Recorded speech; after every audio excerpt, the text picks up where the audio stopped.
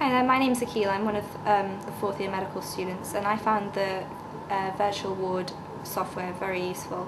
Um, I found it particularly useful in helping me with my problem solving skills, which is something I've often struggled with. Um, I think I was I found that through doing using the resource that I was narrowing down my diagnoses way too soon and often missing the problem that the patient had come in with.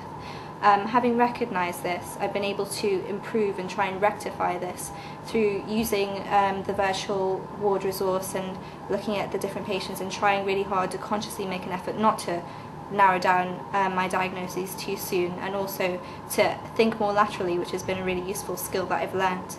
Um, I think this um, resource would be extremely useful during throughout our medical education, especially during the clinical methods block where you start to learn a bit more about problem solving, which is a really important skill to have as a doctor.